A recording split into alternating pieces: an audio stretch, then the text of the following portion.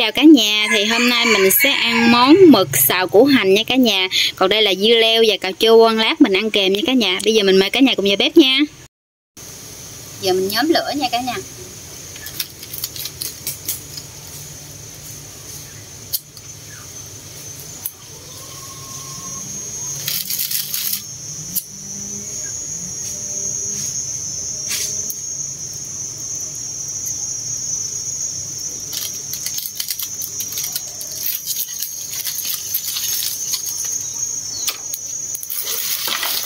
Hổm gại nè, mấy cái bông dừa của mình khô quá trơn nè, mình chụm mấy cái bông dừa đỡ.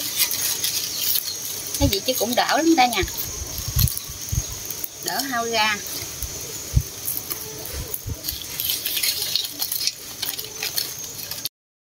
Giờ mình bắt chảo lên nha cả nhà. Chảo nóng bây giờ mình cho ít mỡ vô nha cả nhà. Mình cho hành tím vào phi nha tím của mình thơm nha cả nhà, bây giờ mình cho sa tế vào. Cái này là sa tế cay luôn nha cả nhà. Bây giờ mình cho mực vào xào luôn nha cả nhà.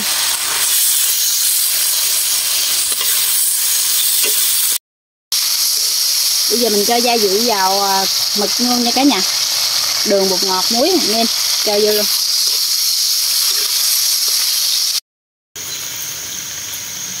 Ừ. lửa luôn nha cả nhà lửa tắt. Bây giờ mình cho củ hành vào luôn nha cả nhà.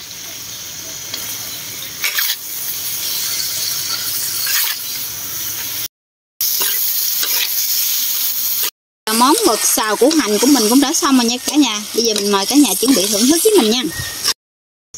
Bây giờ mình mời cả nhà cùng ăn món ờ, mực xào củ hành với mình nha. Mời cả nhà cùng ăn cơm mình nha. Mời cả nhà cùng ăn với mình nha. Trước tiên thì mình thử ờ, con mực rồi nha. Mời cả nhà cùng ăn với mình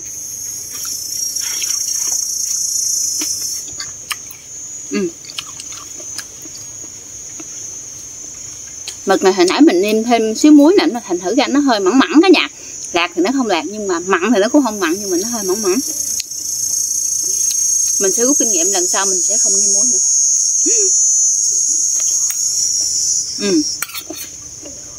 Ngon.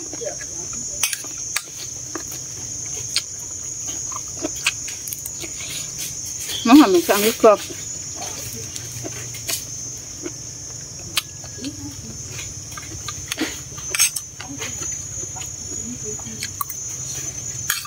Xào sá tới ngon cả nha.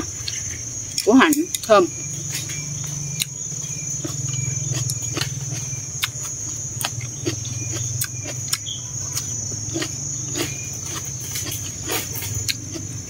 Rồi cái nhà dưa leo luôn nha.